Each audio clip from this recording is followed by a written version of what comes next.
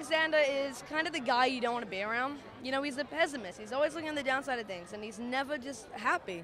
Really, it's it's a shame to be around him. He'll bring you down. And he's like overshadowed by his siblings. He is. He's trying too hard to fit in. He's just like, hey, look at me, and they're going, Alexander, shut up. So things like that. Is his life kind of similar to uh, your life and your siblings? I've got an older brother. He's 18, so I can kind of relate to that, you know, that moment of brother sibling relationship of you know, you know, punching, going, ow, that hurt. And you go, shut up. Things like that.